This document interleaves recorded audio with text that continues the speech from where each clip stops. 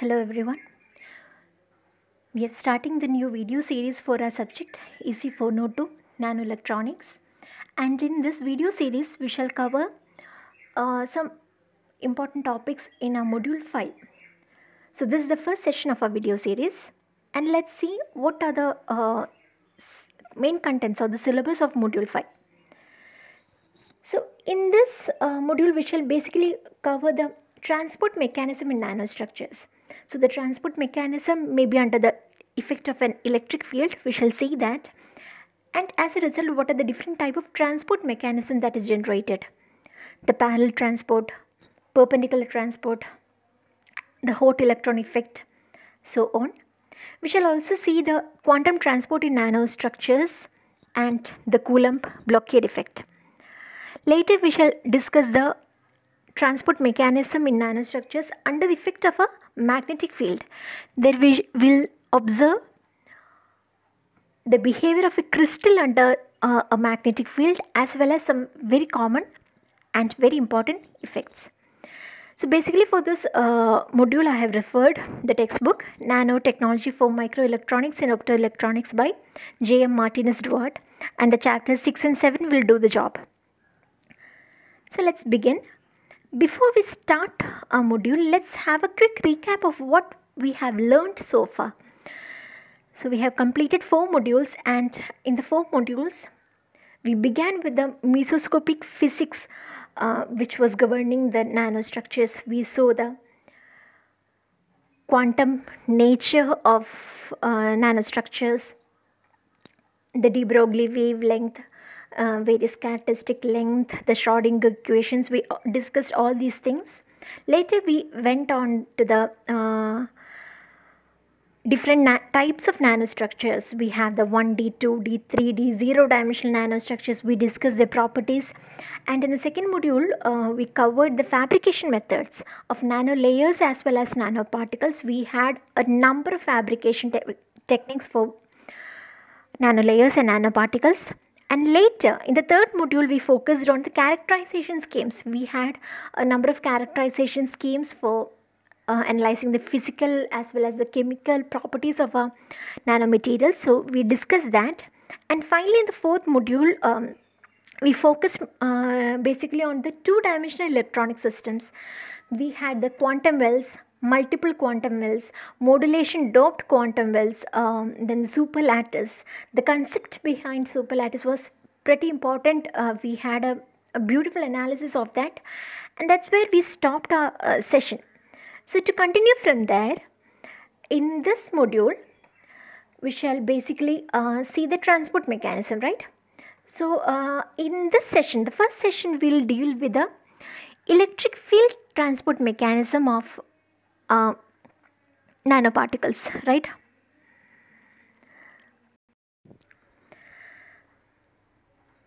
Okay, so the electric field transport, uh, how does the electrons in uh, nano structures move under the influence of a electric field? That's what we are going to discuss here in the session, right? Okay, so we are like well familiar with the quantum wells, the concept of quantum wells, and we have one of our favorite exams, right? Uh, of the modulation doped heterojunctions, we have gallium arsenide and aluminum gallium arsenide uh, quantum wells formation. We have discussed that. Now we have seen that. Uh, see, when uh, semiconductors of different band gaps join at the interface, we get a quantum well.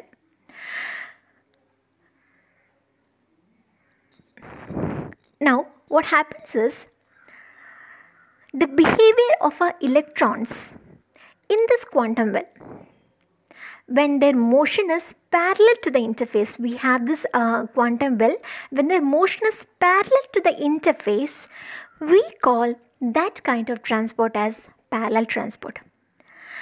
Now uh, are we familiar with parallel transport? I would say yes, because parallel transport is nothing but the uh, normal electron motion in a normal 3D bulk semiconductors, except that there is a difference in their DOS, which is the density of state function, as well as the electron scattering mechanism. So, parallel transport is nothing but the uh, normal electron motion in a bulk semiconductor. The difference arises in the DOS function as well as the scattering mechanism, electron scattering mechanism. That is one type of uh, transport under the influence of an electric field, the parallel transport.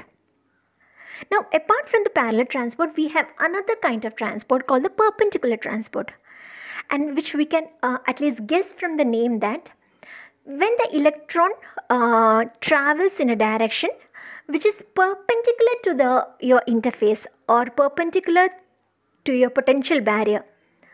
This is called parallel uh, perpendicular transport. I'm sorry perpendicular transport. So when your electron motion is parallel to the interface you have parallel transport. And when your electron transport is perpendicular to your interface or when your electron transport is through the potential barrier you have perpendicular transport.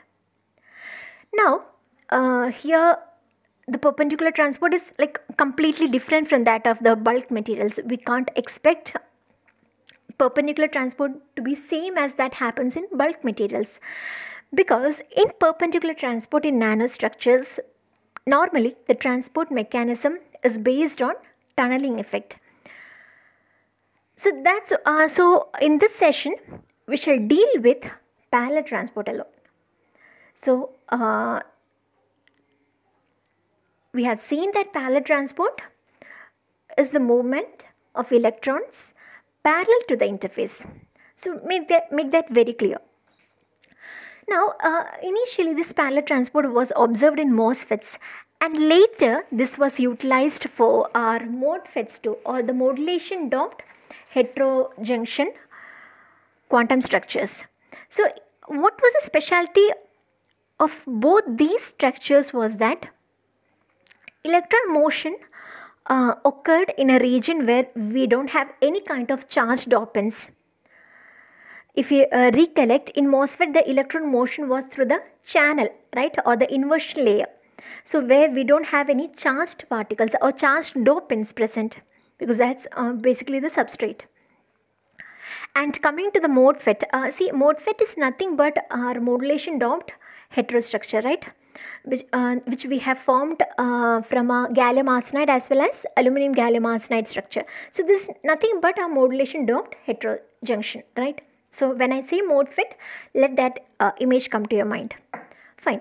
So uh, again, coming back to MODFET, the electron motion is taking place in the gallium arsenide region, which is again not doped it is uh, it is an intrinsic gallium arsenide so again that region is free of charged dopants. So due to this property itself the electrons can reach very high mobilities because they don't have any charged dopants to uh, stop their transport. Now uh, parallel transport is similar to the transport in bulk semiconductors. We have seen that right? We have just discussed that now what we have to consider in the case of parallel transport in nanostructure is that we have additional scattering mechanism. And now we are not dealing with bulk semiconductors. We are dealing with low dimensional system and that is very important. So let's see the electron scattering mechanism that happens in our nanostructures. So basically uh, the main scattering in nanostructures is due to phonons, impurities or even surface roughness. Now what is phonon? That's a question. Like uh, we are familiar with photon, right? It's just nothing but a quantum of light. Similarly, phonon is nothing but a quantum of lattice vibration. They are similar to photons, right? But phonon is lattice vibration. A quantum of lattice vibration is called a phonon and uh, they carry heat, heat in the material. Now, due to these presence, due to the presence of phonon, impurities, surface roughness, we have different type of scattering mechanism such as the electron phonon scattering, impurity scattering, surface roughness scattering and inter-subband scattering. So, we shall uh, see in detail each of the scattering mechanisms. To begin with, the electron phonon scattering. Well, the electron phonon uh, interaction, we can observe it in most of the materials. There is no specific um, material to observe this. It is uh, very common. It is a common kind of scattering. Now, how is how does the scattering occur?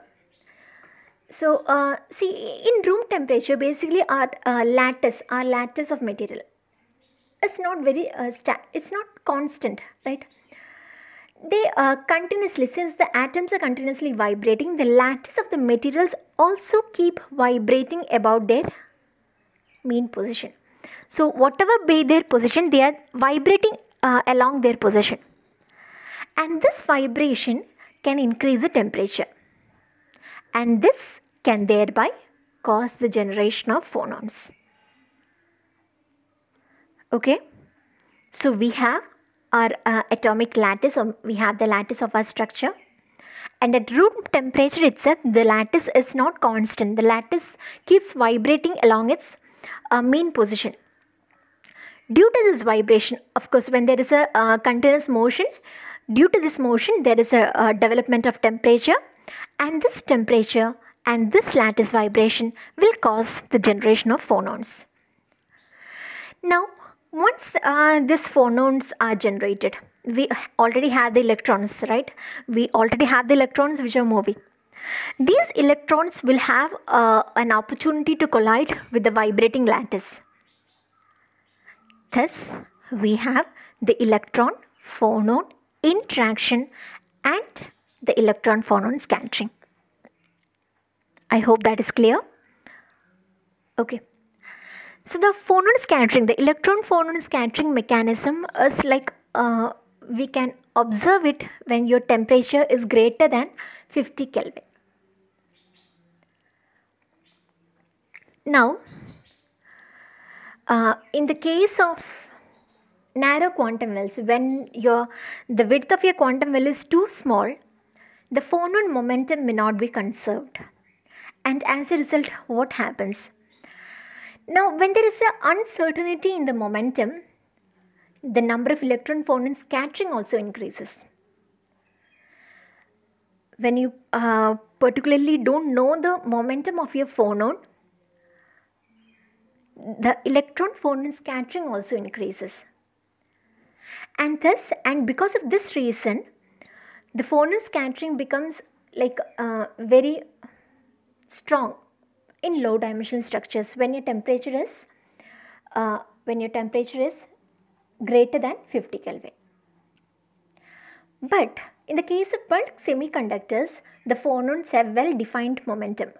We don't uh, have uncertainty in momentum for bulk semiconductors. So this is one important difference, right?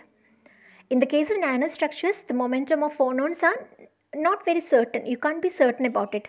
And because of which the electron phonon scattering is very high. But in the case of bulk, the phonons have very well defined momentum. Right. So that's about electron phonon scattering. Here we have seen uh, how is what is phonon, how does this electron phonon scattering occurs and how it is different from the bulk semiconductors. I hope these uh, many points are clear to you. The second scattering mechanism is nothing but the impurity scattering. So as the name suggests, it's a scattering due to the presence of impurities. Now your impurities may be ionized impurities or neutral impurities. So both these ionized as well as the neutral impurities, uh, they form a large contribution in scattering the in uh, semiconductors at lower temperature. Now consider our um, very familiar modulation doped heterostructure, the aluminum gallium arsenide and the gallium arsenide region. So here we can see that the electron motion occurs in this region, right? In this region, which is the gallium arsenide region. Or uh, this, uh, the electron motion is parallel to the interface right similarly in a MOS structure also the electron moves within this inversion layer we have this inversion layer or the channel region here and the electron motion occurs in this. And here the electrons are separated from the impurities. Where does the impurity lie? In the silicon oxide, the gate oxide layer. So basically we have our, we are trying to separate our electrons from the impurities present in our materials, right? So that's what we are uh, saying here, right? Now what happens, uh, uh, what are the things that we must consider when we want to uh, calculate the impurity scattering in MODFET. So let's see what are the uh, things that we'll consider while doing that. So while uh, determining the impurity scattering in MODFET, we uh, take into consideration certain assumptions, which are we assume that the impurities are located in a 2D plane at a distance d of the electrons in the channel and the electrons that cause scattering event has energy close to Fermi level.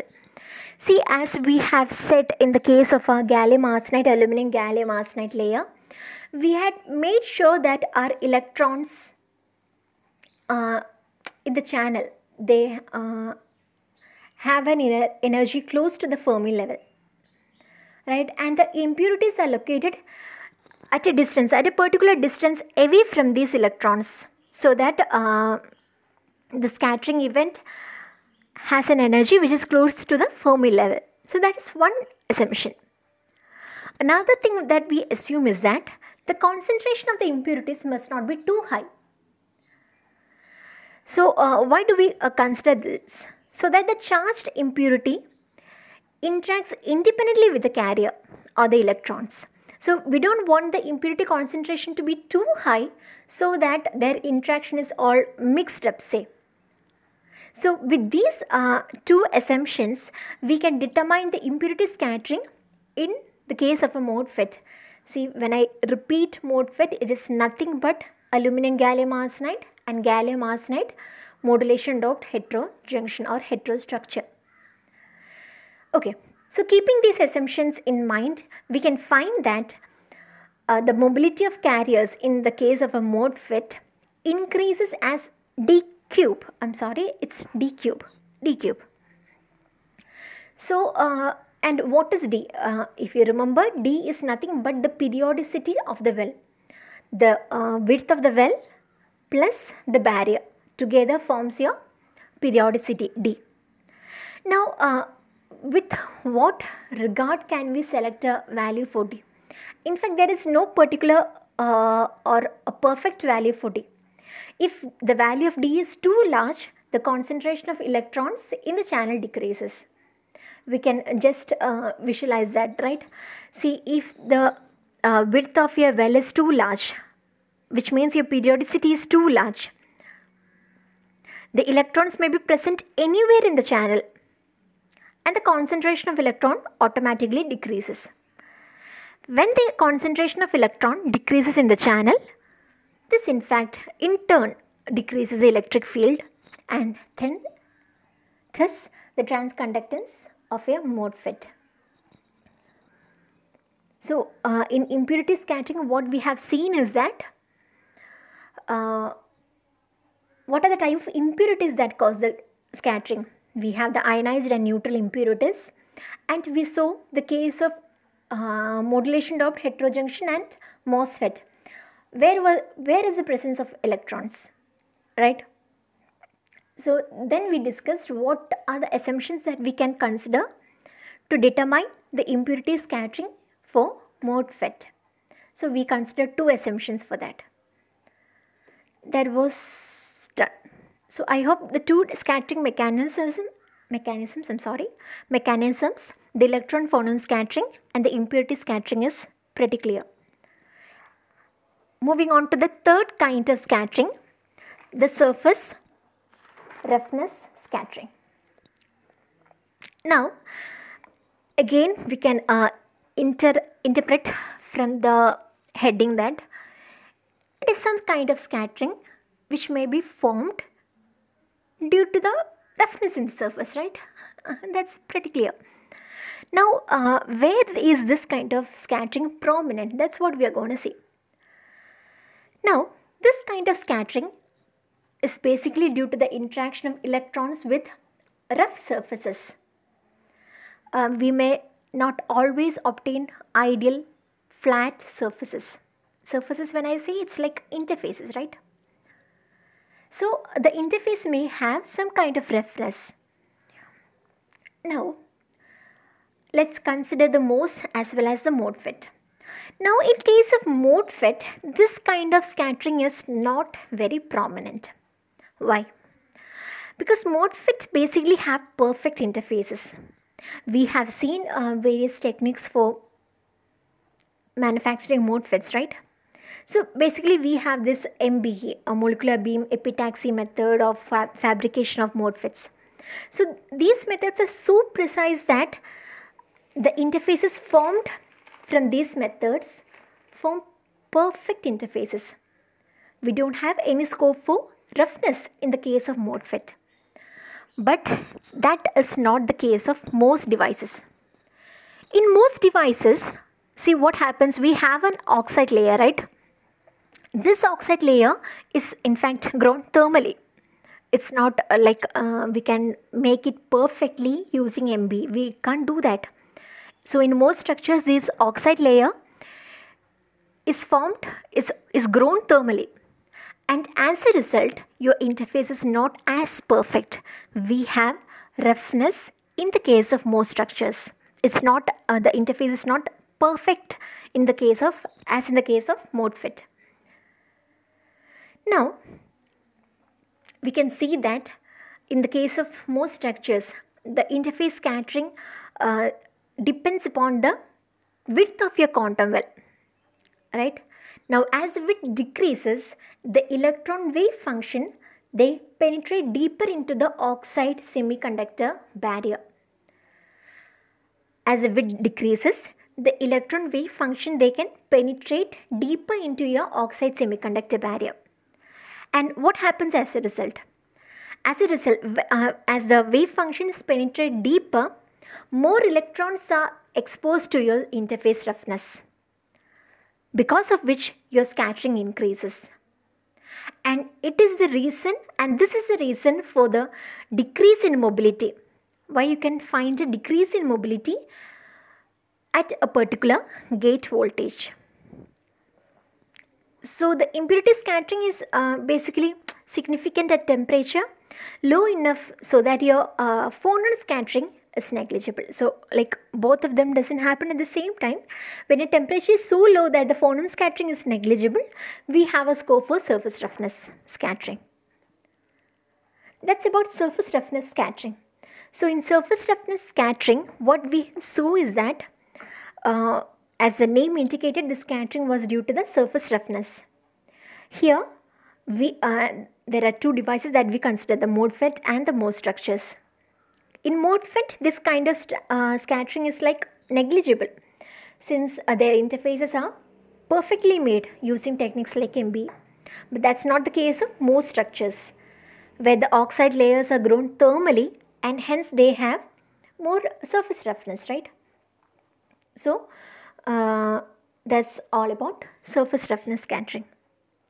I hope that's clear. Coming to the last scattering mechanism, the inter-subband scattering.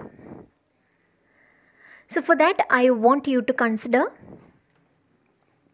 uh, yeah, before we go on to this, I want you to consider this figure. So now just consider a 2D electron system. We uh, consider potential will say we have uh, quantized energy levels E1, E2, E3 and we have the corresponding subbands just as shown in here. So say for when your electron concentration is very large in the well, the energy level with energy greater than E1, energy level with greater than E1 will obviously get filled because your electron concentration is pretty high. Now, if the electron concentration is high enough so that your Fermi level just crosses your energy level corresponding to E2. When your electron concentration is high so that your Fermi level crosses your energy level E2, what happens? The electron with energy near to your Fermi level because it has crossed E2 near to your Fermi level can undergo two type of scattering. Either it can go an intra-band scattering within the energy level E2. Intra-band within the same section. Or else there can be a interband scattering between n equal to 2 energy level and n equal to 1 energy level. Okay. So what have we seen right now? We have a 2D electron system or simply saying it's a potential well. When your electron concentration is too high such that uh, the energy level greater than E1 gets easily filled. Now if electron concentration further increases so that your Fermi level just cross E2, there can be two type of scattering. One is a intra-band scattering within the subband E2. Another one is the interband scattering along your energy levels n equal to 1 and n equal to 2 across these two levels. This kind of scattering mechanism is called inter-subband scattering. Right? So in this case, so in this case, the total scattering probability increases and the mobility, electron mobility decreases. I hope these four kind of scattering mechanisms are pretty clear. So what we discussed was parallel transport, electron transport parallel to the interface, parallel to your potential barrier. That's parallel transport. They are similar to your transport in bulk semiconductors except the difference in your DOS function and scattering mechanism. And because of this reason, we study the different scattering mechanism. The first scattering mechanism was your electron scattering mechanism, uh, uh, electron phonon scattering, right? So we studied what is phonon, how does the scattering occur, and what is the difference between the bulk. Three important points. And in impurity scattering, we considered uh, MOS structure and mode, uh, MODFET structures. So we just saw where uh, is this impurity present and uh, what are the conditions, what are the assumptions we make to calculate the impurity scattering in MODFET Two important things. And then we discuss the surface roughness scattering. Now, uh, how, is, how does this surface roughness scattering occur? What is the surface roughness in the case of a MODFET and MOS? Why in MODFET it is uh, negligible and why in MOS structures it is prominent? We'll show that. And finally, the inter-subband scattering due to the concentration of electrons. So for that, we are considering a potential well to understand the concept. I hope these things are clear, right? So, thank you. In the next session, we will discuss the perpendicular transport and hot electron effect. Thank you. Have a great day.